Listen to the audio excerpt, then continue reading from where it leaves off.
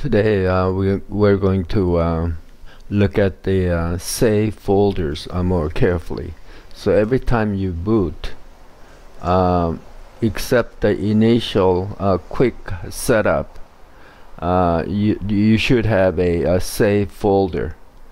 Although some people can use save file, I think that's usually in older Puppy Linux but the more recent ones uh, uniformly uh, use a save folder and I recommend that so if you can look at the uh, save folder that I have loaded up right now uh, well let me just uh, tell you what uh, I'm running. This is a Puppy Linux obviously and I'm running one of the newer Puppy Linux with called Bookworm Pup 64 and this is uh, strictly uh, strictly based on uh, Debian 12 uh, which is the latest Debian uh, mainly uh, with the package system. So you can use apt command and also it has a synaptic package manager.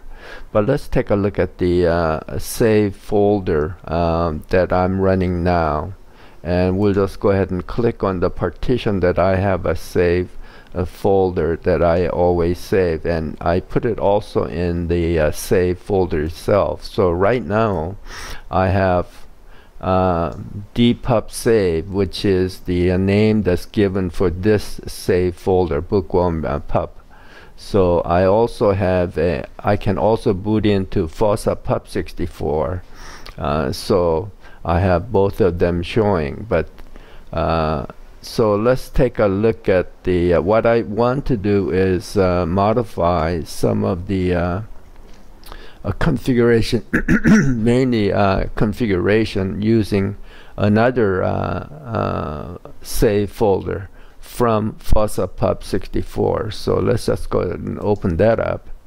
And then what what we'll see is a uh, so within the save folder for pup uh, 64 FOSSA pup 64 there is a uh, file system similar.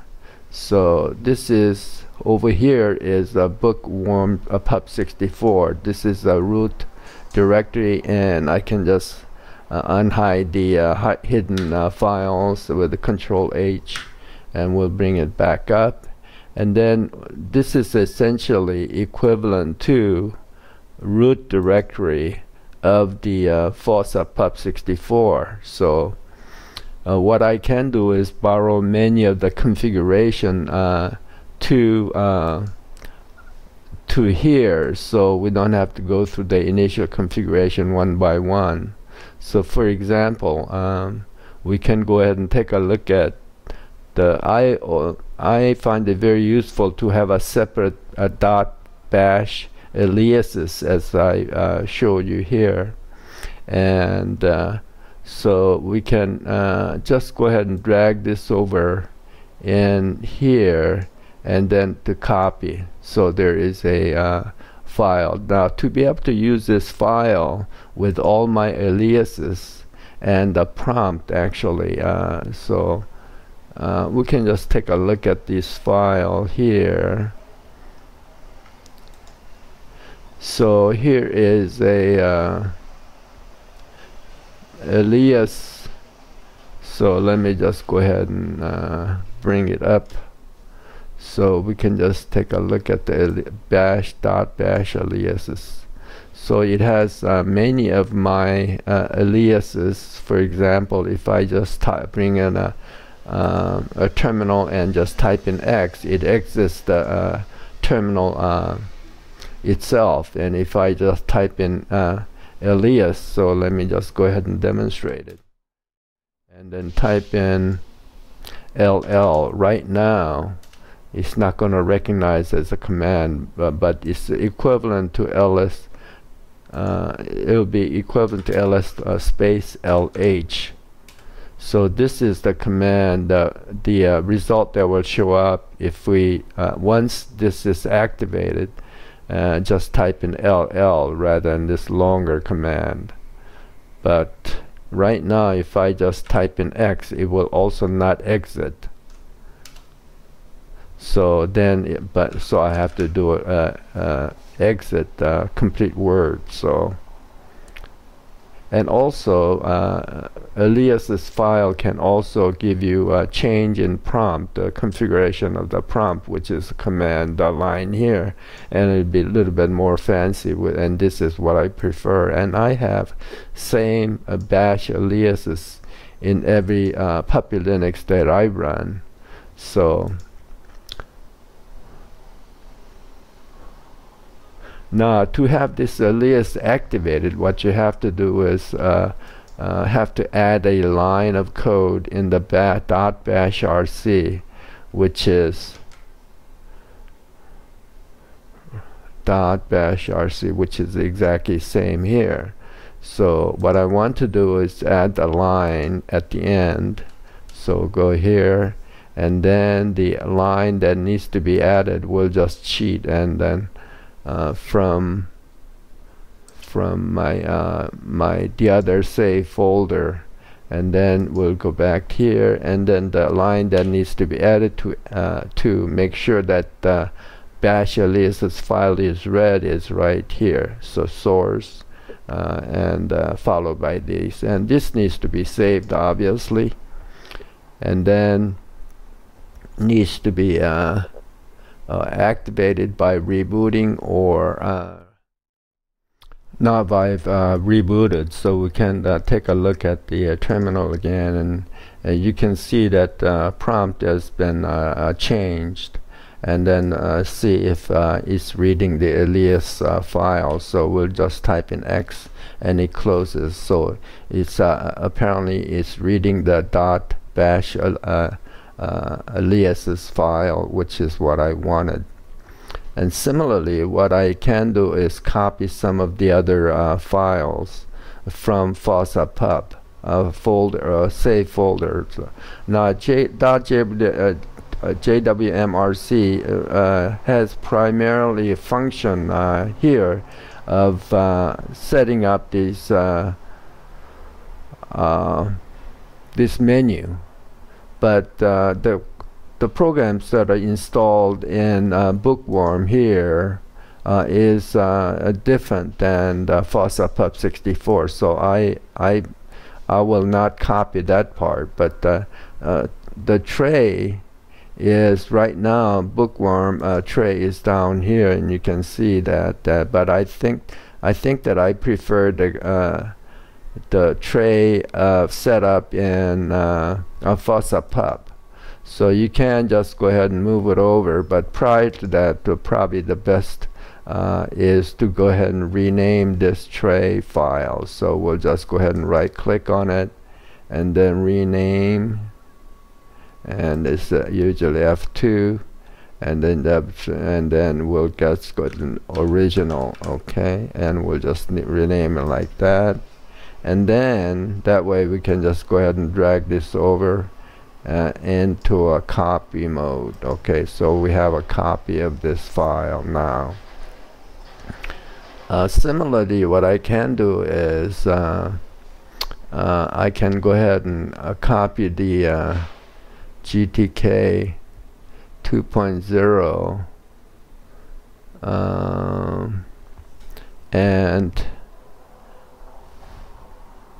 if I just go ahead and copy uh, mine GTK20 and then this uh, little file that I created uh, here what and then put it and the copy over here. What this will do is uh, give a, a, black color in the background of the ROX once it's set up once we reboot the graphic uh, uh, driver so we'll go ahead and um, it's a good idea again to go ahead and uh, change this uh, name to uh, GTK-RC-2.0 dot org if you want. Uh, and then similarly, what I uh, prefer to do is uh, also copy some of the other files. So local files has uh, I know I can uh, just go ahead and copy that from my save file. And then GTP GFTP is what I use and it's already set up. Uh, and then so based on your experience you can uh, you know which files are safe to go ahead and uh, copy over. And so icons is okay. G, uh, gthumb my application has a uh, uh, scripts. Uh, so we'll go ahead and copy the, my bash own bash scripts and my pictures has a further my own custom folder. So we'll talk about this JWM uh, later and then I'll just copy over from uh, the fonts and choices and we'll just copy all that over. Okay so we'll go ahead and copy that over. Take a little bit of time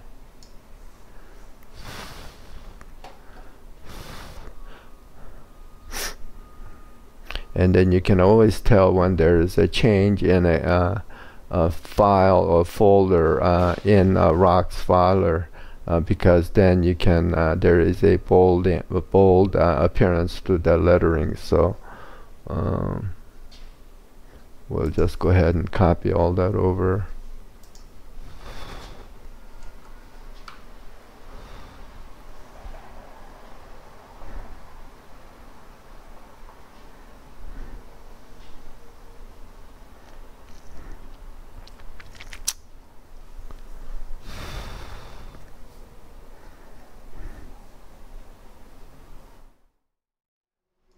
and then the app my under my application these are my uh, own uh, bash scripts that's uh, uh very helpful with keyboard uh, mainly with a keyboard function uh, makes it much easier for me. So so the point of this is to let you know that even with another save folder you can copy some of the configuration files safely to make uh, a configuration much easier so let's take a look at the JWM folder from from um, from FOSSA pup uh, uh, save folder so the JWM uh, RC personnel file has uh, mainly to do with keyboard, your personal keyboard uh, binding, which I find very helpful. So we'll go ahead and uh, this and also theme uh, I prefer the theme uh, for example here the color and so on I prefer the theme that I have my own uh, FOSSA pup. So we'll go ahead click those two and then click it over and drag it over to JWM and then we're gonna copy that over. So under JWM these two files has been changed. So now I have my own keyboard binding so we'll go a little faster uh, after we reboot. Similarly uh, what we can do is also take a look at the main configuration folder of uh, bookworm. So here we have a lot of folders but the right now the ROX uh, filer has uh, default setting which I prefer my own on FOSSA pup so you can safely uh, uh, transfer the ROX uh, many of the uh, ROX filer uh, configuration uh, detail by copying that over. So we'll go ahead and I find it much quicker if you just delete this folder first. And then and then go ahead and uh, copy this over. While we're copying it we'll not only copy that uh, but I have my own uh, GIMP Deadbeef which is a music player uh, gthumb which is a photo editor in my case and then uh, LX terminal which is uh, what we are using here and let's see what else. And Geany okay so that's the editor. So I can just copy and drag those over. And then uh, so these are fairly safe uh, in that you can go ahead and uh, use the configuration files from FOSSA pup to be transferred over the bookworm. So now we're gonna continue uh, after rebooting and see what that looks like now we rebooted uh, with a uh, new configuration and you can see that there is a is lost this uh, background wallpaper uh, but um, uh, you can also see the tray has uh, been transferred moved to the top here with a different my my own preferred theme so it, to me it looks much better. And also uh, and then we can confirm see if my own uh, keyboard uh, shortcuts has been uh, implemented or not just by typing in just clicking super key and E which is uh, automatically uh, you should go to the fifth workspace and launch Geany which it has done. So that's been so I can confirm that the a batch file works now and my keyboard works.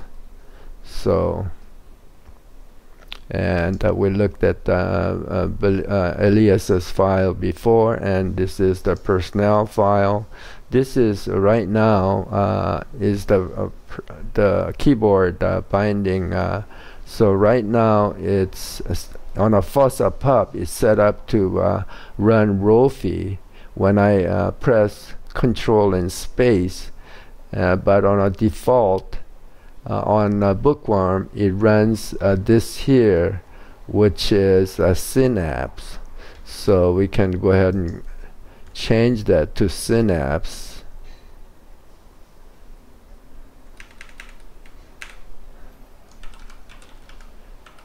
And we can go ahead and save it and we'll go ahead and restart the uh, JWM and then now if I con uh, control spacebar control spacebar should start synapse. And indeed it does. So so this is how you uh, so we can go ahead and start uh, URXVT or we'll just go ahead and type in LX terminal and then you can see that uh, LX terminal has started. So and then we're going to type in here again X. And then we'll go and close with the my uh, preferred key uh, of just to close any program is uh, F4 and let me show you that command. So here because I have this as my default in all my uh, uh, Puppy Linux, I can just simply click on F4 and closes it. So I hope I've given you some idea of how to set up uh, quickly by using another uh, uh, uh folder from another uh, Puppy ISO. So I hope this has been helpful. Thanks.